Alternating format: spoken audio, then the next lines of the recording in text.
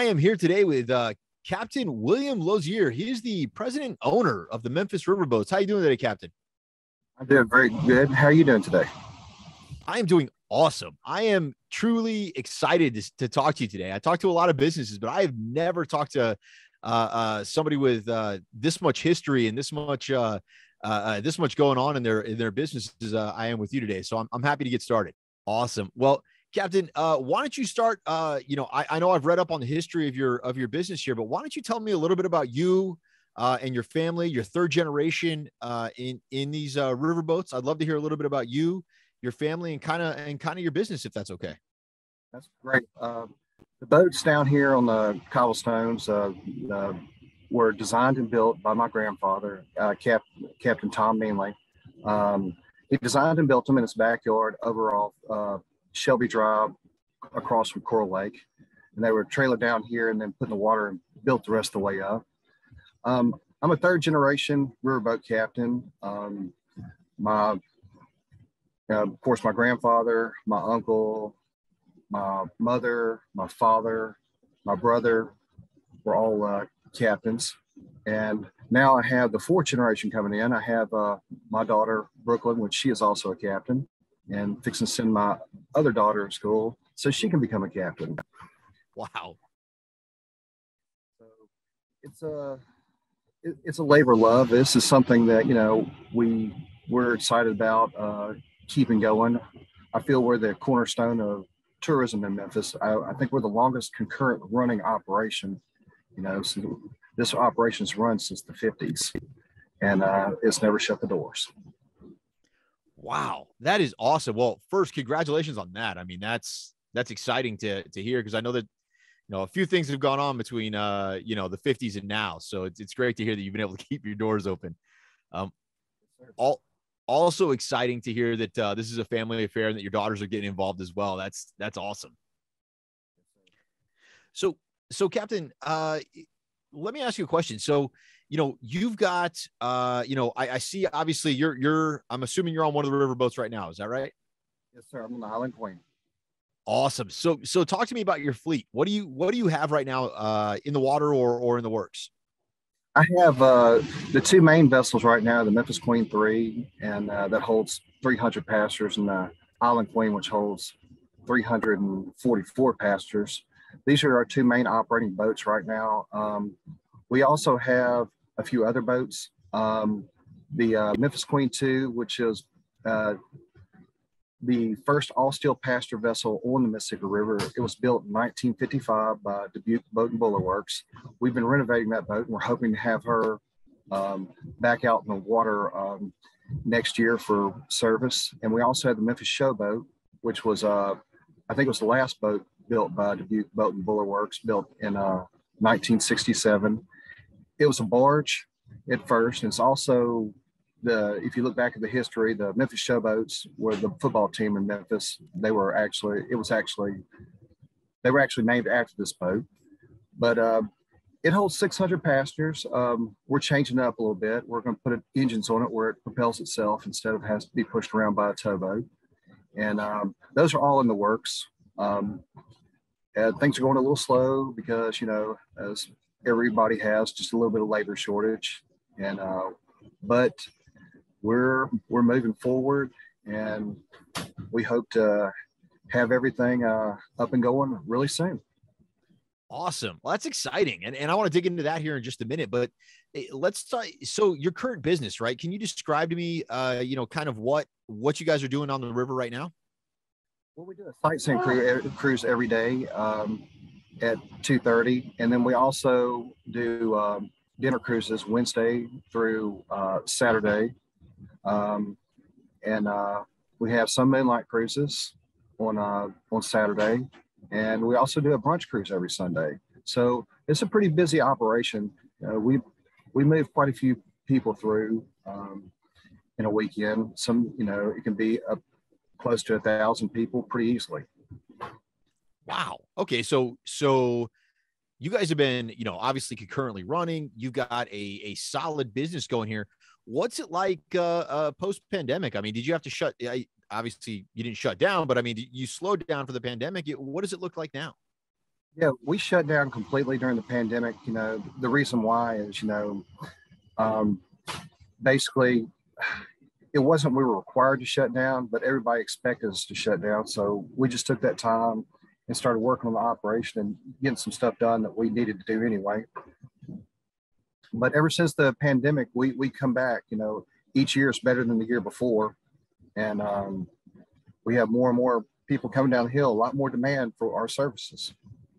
Well, that's awesome. I, I think when you and I were talking before, you know, we we kind of touched on labor just a bit, right? So uh, you know, you mentioned that your suppliers are having labor issues. Uh, you know, are, are you having labor issues or, or, or is it just business as usual? Yes, yes we're having labor issues. Um, um, that's why we're only operating two boats instead of three. And um, we, we're just trying to do the best we can with what we have to work with, you know, it, it's, it's hard to get skilled labor down the hill and it's, you know, and it, it's hard getting, you know, people want to come to work. Um, that's one reason why I still work. So here we are.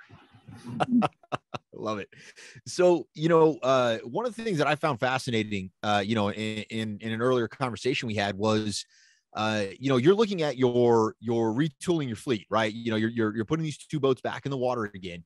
Uh, you know, are you utilizing newer technologies? Are you, you know, how is that working now, or is it just uh, refitting what it was?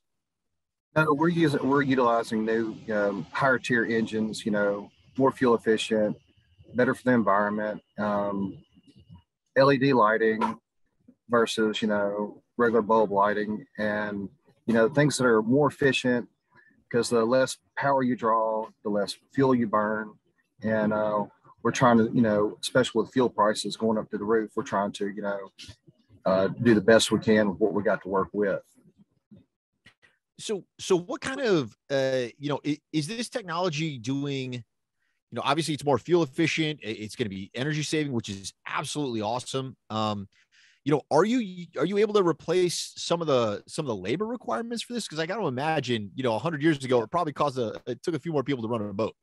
Yeah uh, you know that's that's one thing. It's you know because of labor issues it's you know it's a cheaper to buy a piece of machinery that can do a, a job compared to uh, putting a worker in. Um, unfortunately, you know, it's like that. You know, back when our grandfathers run the place, it was cheaper for labor than it was to buy, buy machinery. So he did it the hard way.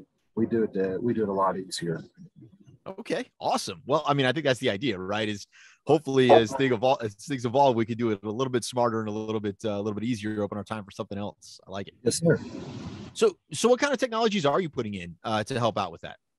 Like um, changing the propellers from like a uh, you know three, four, four blade wheels to five blade wheels. It's a it's a more efficient push, and the boat doesn't vibrate as bad. Uh, changing the bearings that um, you know the old bearings were Babbitt bearings that were poured in compared to the new bearings that are that are machined to fit and less drag and everything like that. And um, just just a lot of uh, anything that's more efficient, like you know, all the way from lighting to uh, systems on the boat. You know, old old systems and old wiring, we take them out and we replace them. Okay, okay. So you know your your daughters are obviously getting into this, right? If you were if you were looking ahead, right, and you were and you were kind of projecting, you know, where where this industry is going to go you know what kind of things do you think they're going to be able to capitalize on or what kind of things do you think they're going to be able to uh, to bring to the table uh, in the future as this starts to evolve? Uh, well they bring a lot to the table right now uh, you know it's it's more of a you know i, I trust them. They can do they know how to do this job. They were raised in this industry. Um, they'll have new ideas. They'll they'll come up with new new things to sell things of that nature. And um, all the best ideas are stolen. So, you know, you just gotta, you just gotta look around and see what everybody else is doing and, and, and try to copy what works. I like it. I like it. And I, it's funny, right? Because the world's so small now.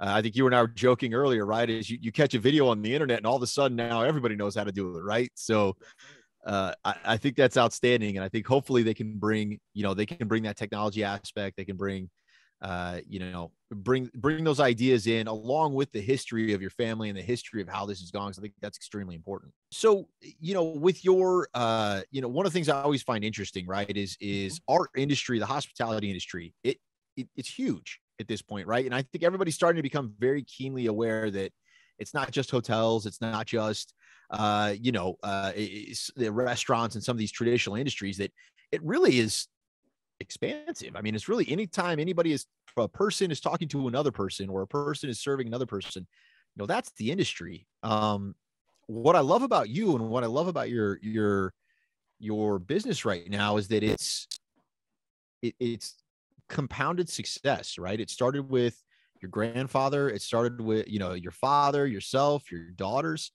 Do you think that that do you think that that brings um do you think that brings something to the table or value adds for any of the guests that come on your riverboat?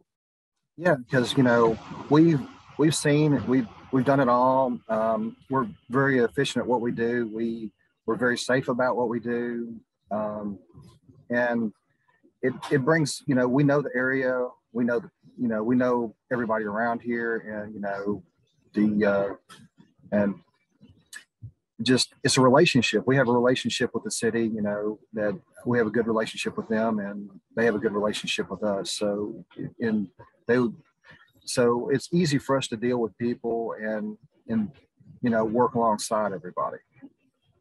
Awesome. Yeah, I talked to um a few months ago. I I, I talked to uh, Brett Batterson, who is, who runs the Orpheum, right? And uh, you know, one of the things that I found amazing about Memphis is the the the culture and the history and how everybody's been able to. Uh, you haven't seemed to lost any. You haven't lost any of it. It seems like it seems like it's it, businesses like yours, like his, are kind of cornerstones of the of the city. How do you guys do that?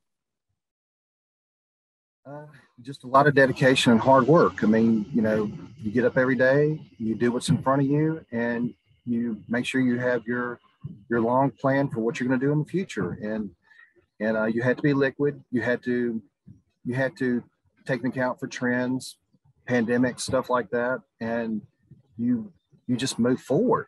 That's all you can do. You you, you can't you can't dwell on what what could have been. It's you had to push to what is going to be. I, I love it, and I and I think that that's you know it's kind of the heart of resilience that I think a lot of business owners uh, you know, the ones that were successful and they came out of the pandemic just fine. I think that's what it was, right? It was, you know, this is a moment. You know, let's focus on what's next and let's push through, right? Yeah, I think it's more resolve and willpower. awesome, awesome. So, you know, with your with your two boats, I mean, it, one of them's historic monument at this point in time, isn't it?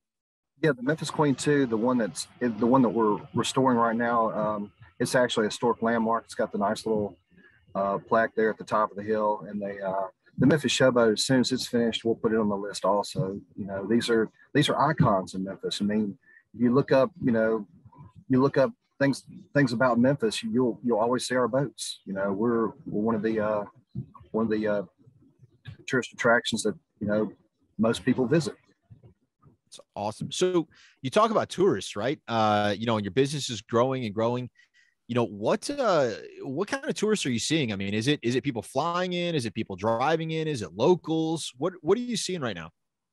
The uh on the sightseeing cruises you see a lot of uh lo- locals and people that are driving in uh some flying in from out of town. On your um on your uh brunch cruises you see about the same. Your uh dinner cruises a lot of uh 90% of those people are local you know. Everybody's ready to get out you know. They were in they were cooped up from the pandemic. They're they're ready to spend money. They're ready to go have a good time, and and we we supply that. I love it. I love it, and I think that's what uh, you know. I, I think that's what a lot of the leaders are keying in on right now. A lot of business owners like yourself are keying in on is the fact that people are just ready to get out and have a good time, right? Yes, sir. Awesome, awesome. So I, it's funny because I, I now I'm bringing up people I've talked to on this show before, right? But uh, you know, a, a couple of them, and I got to imagine this this may be on yours as well. But you know, you, you get the unruly guests as well, right? Uh, are you guys dealing with a little bit of that, or or or is everybody there just just pretty much there to have a good time? Ninety percent of the people are there to have a good time. You always, you're always going to have one or two people that you know that just uh, have a bad outlook on life and they're negative. But you know that's everywhere. We just keep a positive attitude and we push forward. Love it. I love it. Yeah, and, and you're absolutely right. I mean, I think a lot of people will build policies around you know the few bad apples, and then you know all of a sudden you got your staff looking for bad apples, your teams looking for bad apples, when really they're missing all the good ones that are sitting right there, right? All the all the people who came there to see the history, to experience the river, to see what it is you're doing. Well, at the end of the day, this is experience. You know, you want everybody to smile and everything like that. You know, just some people, honestly, you can't satisfy. But what I, I don't try to dwell on that. I, you know, the the if the boat goes out with 200 people and one person's not happy because of something that's happened personally in their life, um, that's not on me. You know, I'm worried about the rest of the people having a good time. That's you know, I hope everybody does, but you can't please everybody. We try, but we can't. well, I, I think that uh, you know, as we look ahead as an industry and as you look ahead as well, you know, it seems like the the future's looking bright. Um, it looks like you know you're looking to expand by leaps and bounds, and so I, I really hope you can get the the technology you need and the the the parts and pieces you need in order to be able to get that up and running. Your daughters, uh, you know, obviously take over the business and do great. Hopefully, you'll get to retire at some point because it sounds like you're still going going strong. Yeah, well, that's that's the game. You know, at the end of the day, you know, um, I continue the legacy, and I'm, you know, it's it's going to be time to pass it. And when I'm, you know, when I get everything set up where they can receive it, it's theirs. I love it. I love it. So, you know, as you look ahead to the future, you know, one of the things I always like to do is I always like to try to to leave our listeners with some piece of advice, right? Like if I'm coming into the industry right now, uh, and I look at it at somebody who's as successful as you are, you know, what kind of advice would you have for me? Uh, you know, coming in and and and and hopefully taking over as a leader. You just had to, uh, you had to, you had to be dedicated. You had to be persistent. You had to, um, you had to make the best of what you got to work with, and have a positive attitude, and just keep pushing forward. I think that's huge. I think a lot of people hit a little bit of adversity, and, and the first I, the first thought is to run. Um, you know, and, and I think we're seeing that, right? We're seeing that everywhere with with the you know the Great Resignation or or uh, you know whatever people are calling it. You hit a little adversity, or or uh, you know you can't quite find your groove, and all of a sudden you you think the grass is greener. What I love about that is that everybody's saying, uh, you know, not everybody, a lot of people are saying they wish they hadn't gone anywhere, right? Um, and so I, I, I listened to that piece of advice and I think to myself, man, uh, you know, if people were just a little bit more resilient, uh, you know, a little, little bit more focused, a little bit more positive, it, it, would make all the difference in the world in, in maintaining some of what's going on right now. Yeah, I mean, you know, a negative outlook, you know, uh, gives you negative thoughts. A positive outlook, positive thoughts. You know, you you want to you want to just be the do the best at what you can do and be the best at what you are. Then that, you know that's it's it's not not hard. Just get up every day, uh, do your start your day, and then you know get through that. Plan for your future. Like it. I like it. You know, I it's so funny right now. I'm, I'm I'm looking at you. I'm so jealous. I actually took my t-shirt off to put my jacket on to come to this. I should have just kept the t-shirt on. I uh it would have been a lot more fun. Love it. Well, uh, you know, if I want to, if if I'm a listener and I want to know uh, uh, more about, you know, the Memphis Riverboats, where can I go to find out more? You can go on, online. Uh, it's memphisriverboats.net, and um, you can, you know, look through the cruises, book online. Um, if you need the phone number, it's 901 527 boat, and um, you can call up here and you can talk to somebody. I mean, it's a it's a great uh, it's a great thing to do. You know, at least try it once. You know, uh, we want to see you down here. Awesome. Well, hopefully, uh, anybody who's listening to this is is keen on a lot of what you're saying here. I mean, you know, your your family, your business, uh, you know, this business has got staying power, and I think a lot of people should be interested in that. Uh, I love the fact that you're integrating new technologies to replace some of the shortages in labor. I think that's you know key. Um, and you're bringing history to it, which which is just gives you goosebumps. Is exciting. So I think that's absolutely awesome. Thank you. I appreciate it. Well, uh, you know, Captain, I I thank you very much for your time, and uh, you know, I I'm really hoping that I can make it down to Memphis and and get a chance to take one of the cruises. I think that sounds awesome. Yes, sir. Come on down, ride with me. I'd love to. I'd love to. Uh, and just as a side note, I'm sure my child would lose his mind to be able to get on there. So we'll, we'll have to come down there. My kid loves them. Definitely bring them. All right. Well, Captain William, thank you so much. I appreciate it. And thank you for your time today. Thank you.